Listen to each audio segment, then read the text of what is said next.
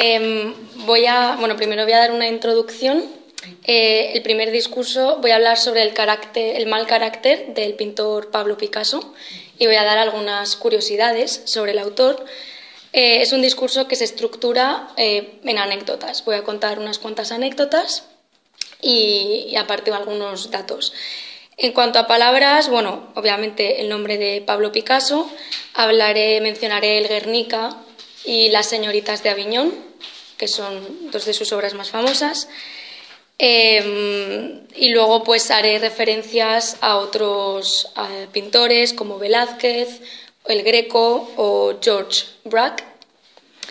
Y eh, no hay palabras especialmente técnicas, eh, simplemente lienzo, que es lo que se usa para pintar. Ya está. El lienzo. Canvas. Sí. Vale. Sí. Y ya está. Pero lo vas a, como, lo vas a contar. Sí, sí, sí, lo voy a contar, lo voy a contar. No pasa nada, es fácil. Sí, sí, Porque como son las ocho sí, sí. media. Vale, bueno, pues empiezo. Buenas tardes, señoras y señores. Hoy voy a hablar de un artista de renombre cuya famosa obra El Guernica está expuesta en el Museo Reina Sofía de Madrid.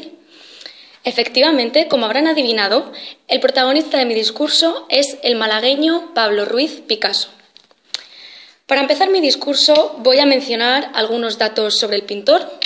En primer lugar, el padre de Picasso también era pintor y guió y aconsejó a este a lo largo de su carrera artística. Eso sí, independientemente de que su padre estuviese en el mundo del arte, Picasso desde muy temprana edad ya apuntaba maneras. Su primera exposición la hizo a los 13 años y él mismo ya de adulto llegó a decir que se sorprendía de la calidad de las obras que realizó siendo tan joven. Se calcula que llegó a realizar unas 16.000 obras. Y un dato que me pareció curioso es que era especialmente bueno copiando eh, y haciendo interpretaciones de obras de Velázquez y del Greco. Les animo a que busquen imágenes de sus primeros cuadros y verán que Picasso no es solo el Guernica o las señoritas de Aviñón. Podría seguir hablando de su biografía, de sus etapas artísticas o incluso hacer un análisis más detallado de alguna de sus obras, pero no. Hoy voy a centrarme en hablar de una parte más oscura de Pablo Picasso, su mal carácter. Se ha hablado mucho sobre el mal carácter de Pablo Picasso. Se le ha descrito en numerosas ocasiones como un hombre machista, peculiar, caprichoso, neurótico, maniático. Incluso encontré un artículo que lo definía como sádico y destructor. ¿Pero era realmente para tanto? A continuación voy a contar tres anécdotas que, sobre el pintor que Françoise Guillot, que era su mujer, una de ellas, recogió en su libro Vida con Picasso. A la primera anécdota la he llamado El almuerzo y tiene como protagonistas a Picasso, su mujer y el conocido amigo del artista y también pintor George Braque. Cuando Picasso empezó su relación con su flamante esposa, quería presentársela a Braque y quería que su amigo le invitase a comer a su casa. Por ello, lo que hizo con su mujer fue, a lo largo de varios meses, presentarse todos los días en su casa, a la hora de la comida, para ver si su amigo le invitaba. Sin embargo, a pesar de las insistencias y de las indirectas de Picasso, esa invitación nunca llegó. Y, como venganza, por pura rabieta, Picasso decidió quitar de su estudio un, eh, cuadro que Braque había pintado y que le había regalado, y dijo que no era buen pintor. Sin embargo, cuando ya pasó el tiempo y Picasso perdió toda esperanza de que le invitase, finalmente reconoció que Braque era un excelente pintor. Y así podemos ver que Picasso era un poco impulsivo.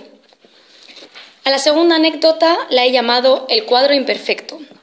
Según cuenta su mujer en sus memorias, Picasso pintaba en un estudio totalmente desordenado y odiaba que entrasen en él o le cambiasen los materiales de sitio.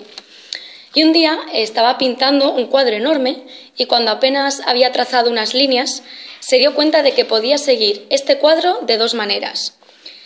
Así que le ordenó a su mujer, que también era pintora, que pintase el mismo cuadro a lo largo de la noche y que lo tuviese listo para el día siguiente. Y Françoise le dijo que no, que no era posible, que no tenía tiempo. Pero Picasso no iba a aceptar un no por respuesta. Así que Françoise llamó por la noche a un sobrino de Picasso y éste le ayudó a pintar el cuadro. Al día siguiente el cuadro estaba listo, pero Picasso se percató de que no era igual y dijo que había algo diferente en una de las esquinas. Fueron a por un metro y vieron que efectivamente el lienzo era tres centímetros más largo que el que había utilizado Picasso, lo que hacía que la obra no fuese exactamente la misma. Picasso se enfadó muchísimo con el eh, hombre que le hacía sus lienzos y no sé yo si volvió a trabajar. Y la última anécdota se llama el billete de 500 francos.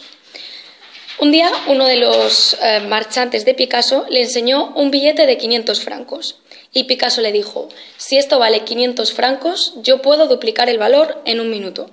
Y entonces cogió un bolígrafo y dibujó una corrida de toros se lo devolvió al marchante, quien esa misma noche contó la anécdota a sus amigos y en ese momento uno de los asistentes sacó un billete de mil francos y le compró el billete. Y así fue como Picasso, con un simple garabato, duplicó el, valor de un billete de 500 francos. Bien, señoras y señores, estas son solo tres de las muchísimas anécdotas que existen sobre el pintor quien a mi parecer es un artista que merece mucho la pena estudiar y no solo a nivel artístico, como he dicho anteriormente, sino a nivel personal. Y qué mejor manera que a través de anécdotas. Porque, como dice un artista al que admiro mucho, para conocer bien a la gente hay que fijarse en sus detalles.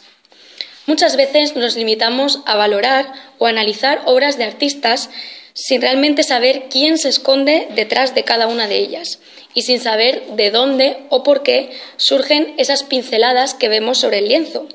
Y no nos damos cuenta de que nos estamos perdiendo una parte muy importante de la creación.